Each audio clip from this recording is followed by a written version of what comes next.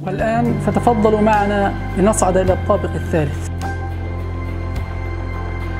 أما الطابق الثالث فله أهمية خاصة وذلك لأن مجموعة الطوابق الثلاثة من المتوقع أن تستوعب أكثر من خمسة آلاف مصلي. وهذا العدد عادة ما يتجمع في صلاة العيد وصلاة الجنازة والصلاة على الشهداء خاصة وأن المقبرة تقع بجانب المسجد.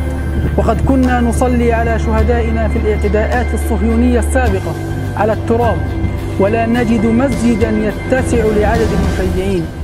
كما وأن هذا الطابق سيتم الاستفادة منه كقاعة محاضرات كبيرة تستخدم فيها وسائل العرض التكنولوجية بهدف توعية الرجال والنساء.